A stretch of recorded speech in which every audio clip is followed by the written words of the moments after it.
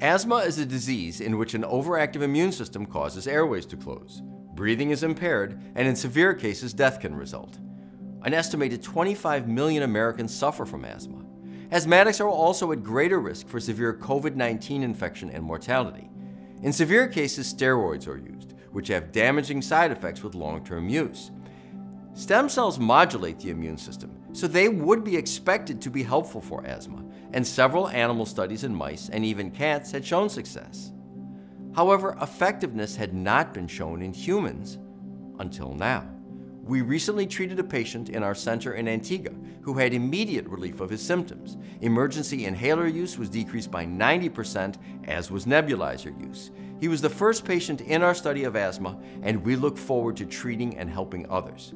We have submitted his case study for medical journal publication so that others will know of the potential beneficial effects of stem cell treatment for asthma.